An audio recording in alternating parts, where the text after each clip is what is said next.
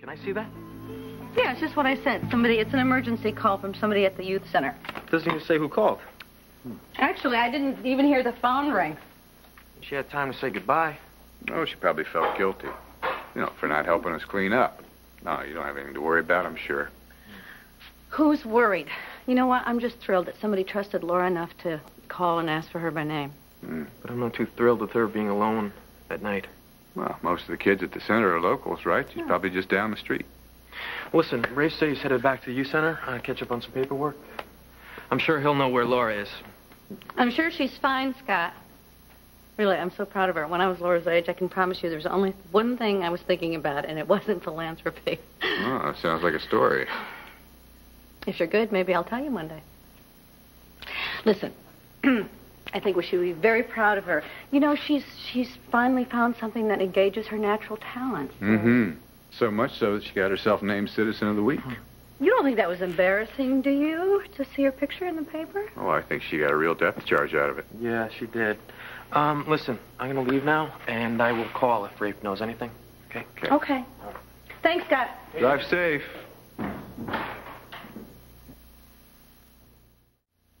Actually, I, I think Laura just now is getting a glimpse of what she's good at. And you're very proud. Does it show? You're beaming off the ceiling. Well, what can I say? I'm hopelessly maternal. Hopeless? I would hardly say that, and definitely never describe you as maternal. Well, how would you describe me? Well, let's see. You have a very sexy brain. Curving in all the right places. Sending out bolts of electricity that light up your eyes and your voice and your smile. You're a woman who passionately to extremes, who lives abundantly in the moment. Your epitaph will read, I wanted to save the world, and your friends, myself among them, will know how hard you tried. Well, uh, you have quite a way with words. Well, thank you. but, you know, that's not really my medium. This is.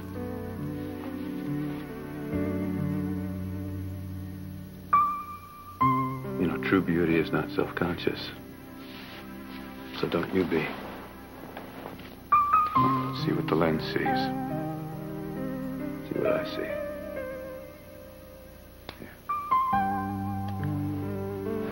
Certain cultures believe that the camera steals their spirit.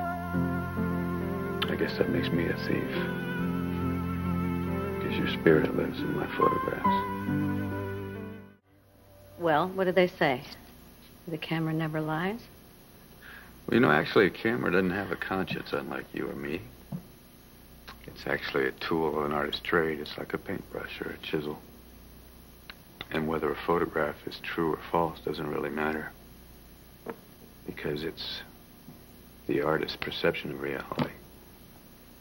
It's heightened and intensified. How do you choose your um, your subjects? I don't always choose them. Sometimes they choose me. Look, do you remember the sunrise the morning after our plane went down? You know, I had seen the sun come up a thousand times. But that time was different from any other in my life. I had heard people say that the world is reborn with every new day, and us along with it. But I never believed it until that morning with you.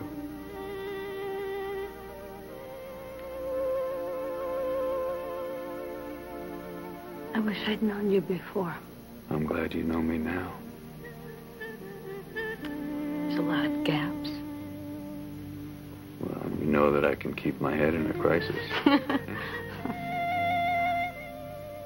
and You know that you'll never be alone. There'll always be someone who knows what it's like to survive a nightmare. And you know, like I know, what it is to be thankful for one more beautiful, perfect sunrise. Because we saw it and we lived it together.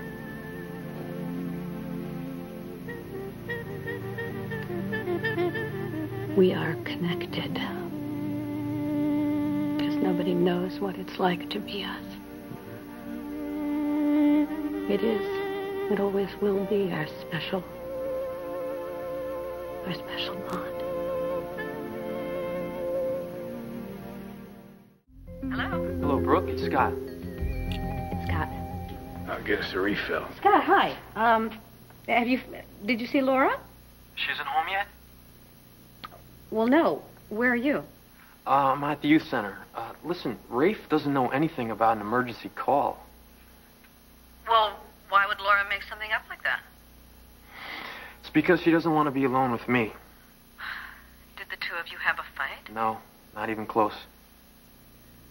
All right, listen, I'm I'm going to make some calls and try and track her down. Okay.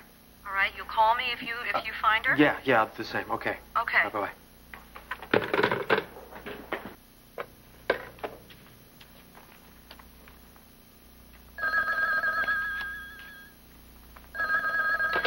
Hello. Yeah, uh, patch me through to that babe, Laura. I beg your pardon? Hmm. She is so succulent. Who is this? How did you get this number? Me, I'm a regular on the Teen Nymph website, as is the luscious Miss Laura.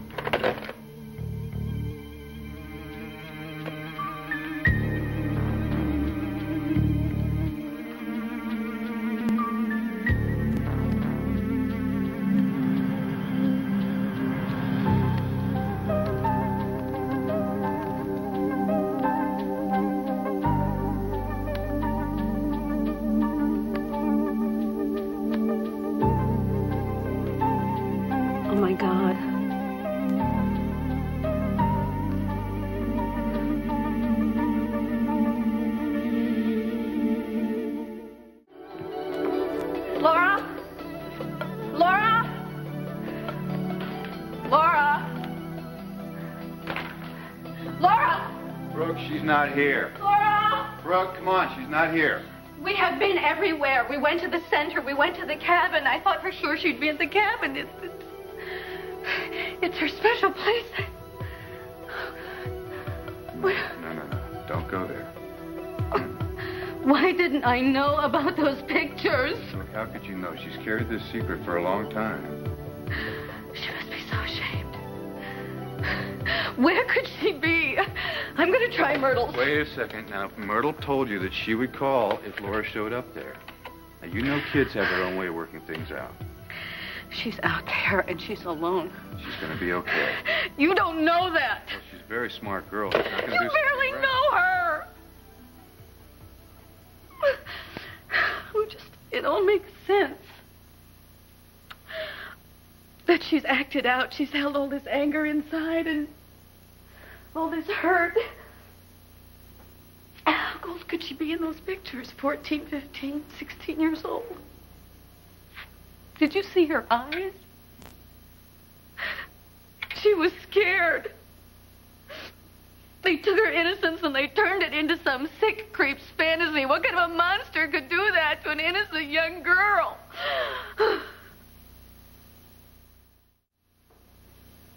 Did she think that I would love her any less because of those pictures? Yes, probably. If I had known about this, I might have kept it from blowing up. And now all those pictures are on the internet. She must feel so alone. She must feel so helpless. Who are you calling?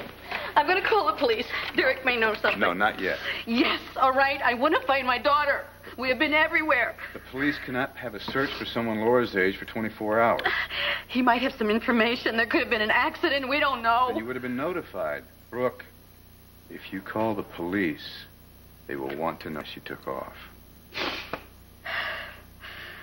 I'll have to tell him about the pictures. Mm-hmm. Oh. Laura doesn't need a police report that may get out to the papers. I... Exactly.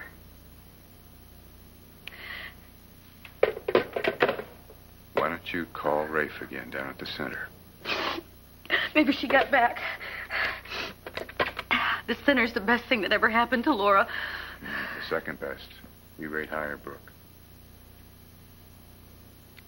Thanks For what?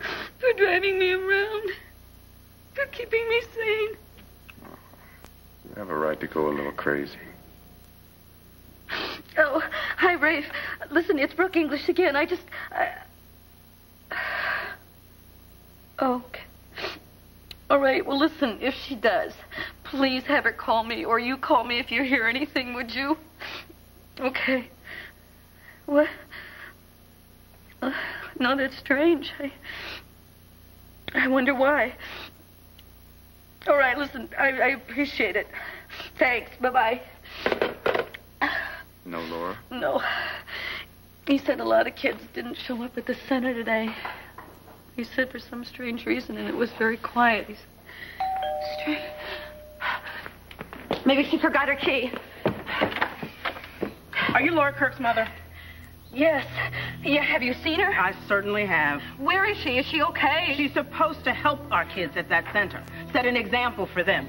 Is this the kind of example you raised your daughter to set?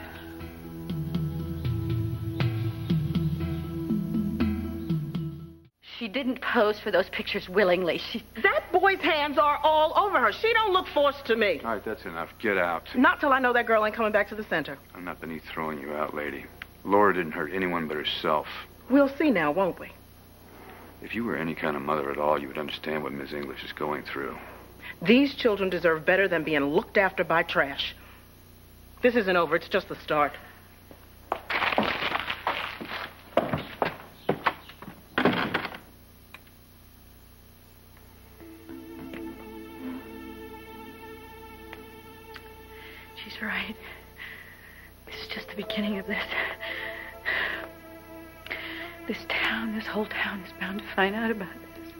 Don't know that, Brooke. This is the only home that Laura has ever known in her life. I mean, it, when we find her, how am I ever going to convince her to come, come back?